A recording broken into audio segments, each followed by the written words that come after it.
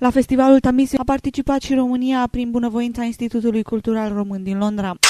La festivalul Tamisie, organizat de primarul Londrei și desfășurat în perioada 12-13 septembrie pe malul râului londonez lângă South Bank Center, a participat și România prin bunăvoința Institutului Cultural Român din Londra. Secțiunea New European Village a prezentat diversitatea culturală a unor țări precum Bulgaria, Cehia, Estonia, Germania, Ungaria, Letonia, Lituania, Polonia, România, Slovacia și Turcia. În acest an, pe scenă s-a cântat atât muzică tradițională cât și pop din țările participante, cu o abordare contemporană a stilului de a compune și interpreta. Standurile au prezentat obiecte tradiționale confecționate manual, păpuși din paie și multe altele. Standul românesc a expus obiecte tradiționale de zestre întinse pe frânghia de rufe și fotografii din camera tradițională de oaspeți, camera cea bună. Artiștii populari Monica Pădureț și Ioana Constantin au susținut demonstrații de lucru în ceramică. Prezent la acest eveniment, ambasadorul României în Marea Britanie, domnul Ion Jinga, a declarat pentru Radio Ciocârlia. Prestația românească este deja vizibilă, avem un stand uh, foarte frumos și îndrăznesc să spun încercând să fiu cât se poate de obiectiv că este, dacă nu cel mai frumos, unul dintre cele mai frumoase și mai bine aranjate standuri de la Festivalul Tamisei. De altfel, atenția de care se bucură România la acest festival este, cred eu, reflectată și prin faptul că aseară la Institutul Cultural Român, când s-a făcut deschiderea secțiunii românești a festivalului au participat atât președintele cât și directorul festivalului, deci personalități ale lumii politice și artistice britanice și din câte văd eu aici există o prezență numeroasă, sunt foarte mulți vizitatori, broșurile și pliantele despre România se vând, aș spune, ca pâinea caldă. Cred că este nu numai o prezență de succes, dar și benefică atât pentru imaginea României cât și pentru construcția pe care Ambasada și Institutul Cultural Român încearcă de ceva vreme împreună să o facă aici, bătând repere ale culturii, tradițiilor, valorilor românești, ale tot ceea ce România înseamnă pentru spațiul politic, social, cultural, occidental și cred că sunt semne bune. În cadrul secțiunii New European Village s-a auzit și povestea lui Apolodor, adaptarea cărții pentru copii scrise de Gelu Naum. Aceasta a fost istorisită excelent pe note muzicale de Ada Milea, Dorina Chiriac și Radu Bânzaru, care au declarat în exclusivitate pentru Radio Ciocârlia. Apolodor e interpretat de Dorina Chiriac. E povestea lui Gelu Naum despre pinguinul care a plecat să-și caute frații plecat de la circ nu ne spune sfârșitul, că vrem să-l vedem. Bine, nu vă spun sfârșitul, a plecat să-și caute frații și este un fel de hartă muzicală a traseului lui Apolodor, care ajunge la Polul Nord. Waving their hands. Camel's Peter with tears in her eyes was asking, Will you stay longer on ice? The kitty was asking him too. Are you cold there? Well, how are you? He was crying and singing, crying and singing, crying and singing all day.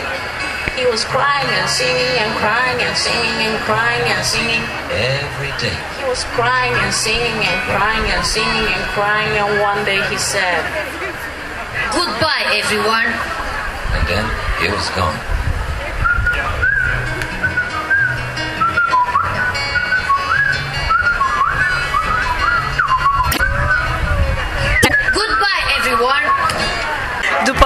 Concert, după spectacol, felicitări, a fost super, mulțumim.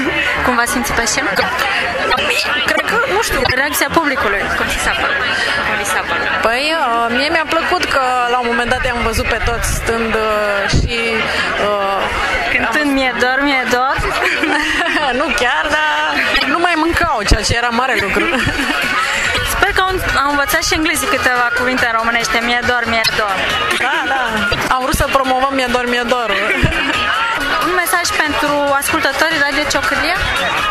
Sănătate, fericire și tovărtiți, știu eu. Ei știu ce-și doresc. Într-o zi Apolodor a spus așa Mie dor, mie dor, mie dor, mie dor De frații mei din Labrador, mie dor, mie dor. De frații mei din Labrador, mie dor, mie dor. De frații mei din Labrador, mie dor, mie dor. De frații mei din Labrador Când l-au văzut pisoiul tiț Plângând cu hohot și sughiț I-a zis, nu plânge, te implor. Dar el plângea Mie dor, mie dor Felicitări Felicitări în primul rând, superb. Mulțumim, mulțumim frumos în numele colectivului. Cum v-ați simțit pe scenă? Cum ne simțim de obicei pe scenă când suntem împreună, ne bucurăm că suntem împreună și cred că lucrul ăsta transpare și, și trece, trece rampa și lumea se bucură și interacționează cu, știu eu, tipul de energie pe care îl împingem înspre ei. Ați simțit uh, căldura publicului român care Da, da, da, da, da. Era undeva în partea stângă a scenei și reacționau mult mai diferit pentru că știau dinainte ce urmează sau prindeau comicul de limbaj. Pentru că e o, e o traducere făcută bine, dar au reacționat și britanicii. Asta m-a, asta m-a bucurat.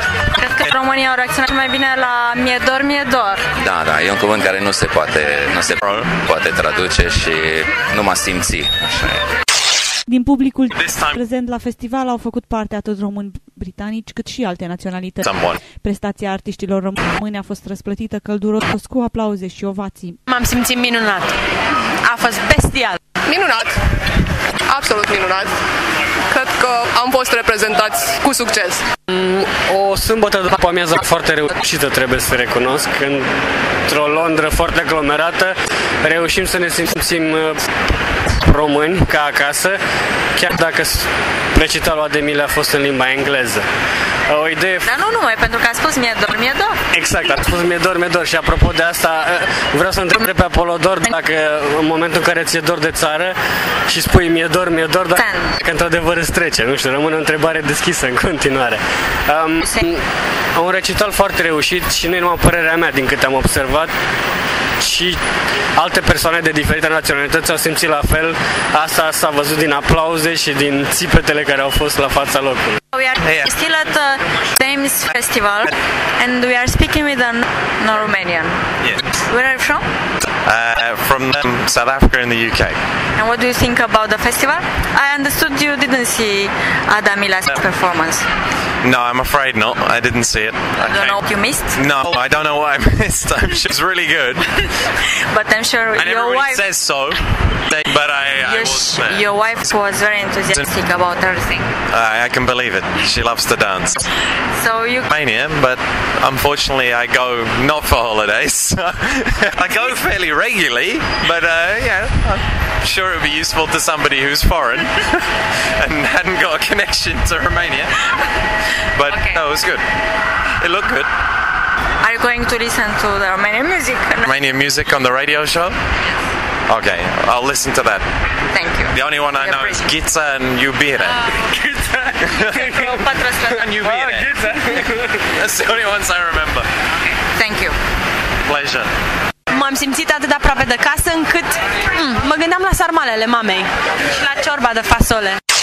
Mândre de prezența României la Festivalul Tamisei din Londra, au relatat pentru Radio Ciocârlia Maria Ciubotaru și Delia Corol. La circ, pe gheața unui răcitor, trăia un pinguin din Labrador. La, la, la. Cum se numea? Apolodor. Și ce făcea? Cânta la cor. Ce făcea? Cânta la cor. Cânta la cor. Cânta la cor. La, la, la, la, la. La, la, la, la. Cânta la cor. La, la, la, la, la. La, la, la, la. Cânta la cor. Deci nu era nici scamator, nici acrobat, nici dansator. Făcea și el ce mai ușor. Cânta la cor. Dar într-o zi Apolodor a spus așa Mie dor, mie dor, mie dor, mie dor. De frații mei din Labrador, mie dor, mie dor. De frații mei din Labrador, mie dor, mie dor. De frații mei din Labrador, mie dor, mie dor. De frații mei din Labrador Când l-a văzut pisoiul tiț Plângând cu hohot și sughiți I-a zis, nu plânge, te implor. Dar el plângea, mie dor, mie dor. Mie dor, mie dor De frații mei din Labrador Mie dor, mie dor, mie dor, mie dor. Că Milasu zicea mai uh, tristă Ofta cu fața în batistă Dor, mie dor De frații mei din Labrador Ea îi fusese ca o mamă Îl învățase prima gamă Dar el plângea Mie dor dor, mi-e dor De frații mei din Labrador. Mi-e dor, mi-e dor De frații mei din Labrador. Mi-e dor, mi-e dor De frații mei din Labrador. Mi-e dor, mi-e dor De frații mei din Labrador. Mi-e dor, mi-e dor De frații mei din Labrador. Și a plecat Apolodor